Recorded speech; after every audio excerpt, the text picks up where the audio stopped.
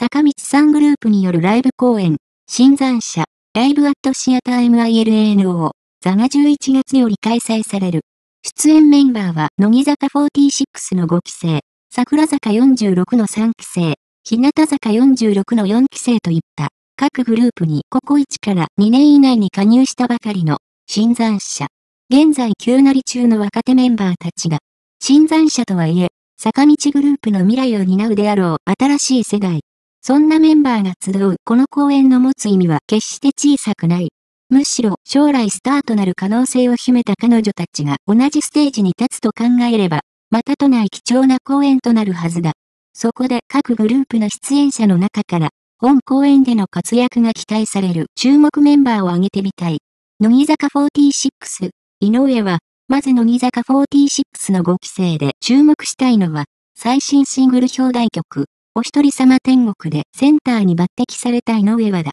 井上は、長い髪を優雅にたなびかせるしなやかなダンスが美しい。常に落ち着いた雰囲気を醸し出す、そのキャラクターは、同局の悠々自適な生き方を選ぶ主人公像にもよく合っている。表情のバリエーションも多く、目で語る力も持つ。品のある大人っぽさと、みずみずしいあどけなさが同居した不思議な魅力で観客を釘付けにするだろう。乃木坂46、中西あるの、グループ史上最速でセンターに抜擢された経験のある中西あるのにも期待したい。演技力に定評のある中西は、不敵な笑みを浮かべながら首を横に振る仕草などで見せる、ちょっとした表情の変化が秀逸。得意げな顔、誘うような表情、相手を見透かしたような目、どこか影のある存在感を放つ神使いなど、他のメンバーにはない武器をいくつも持っている。桜坂46、山下瞳月、桜坂46、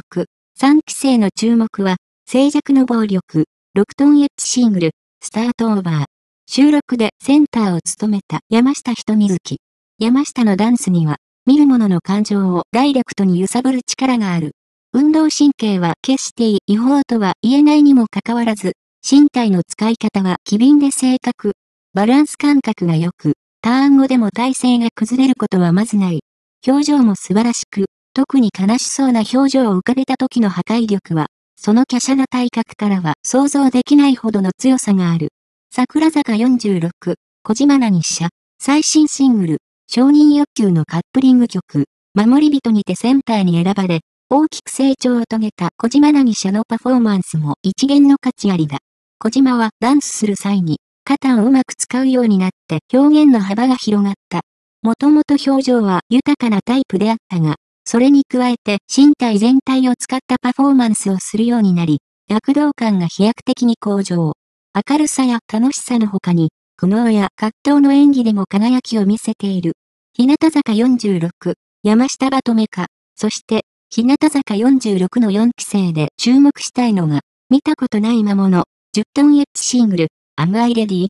収録でセンターの後ろのポジションを務める山下バトメカである。彼女は何と言っても表情がいい。心の中にある恐怖心が歌われる同曲において、山下はその不安な感情を的確な表情で表現している。とりわけ一番 A メロのフレーズ、こんな真夜中すぎ、家から抜け出してで浮かべる表情は、この曲のパフォーマンスに欠かせないものとなっている。曲の世界に深みを与えられる数少ないメンバーの一人だ。日向坂46、証言司用紙、見たことない魔物は、恐怖心に打ち勝つ強い心も描かれるが、そうした面でキーパーソンと言えるのが証言司用紙である。証言司のパフォーマンスはまっすぐで混じり気がない。ある種の主人公感があり、前に進む勇気や心の強さを表現することに長けている。そのため、手で胸を何度も叩くサビの印象的な振りでの彼女は、見る者に強く訴えかけるものがある。こうした才能あふれるメンバーをはじめ、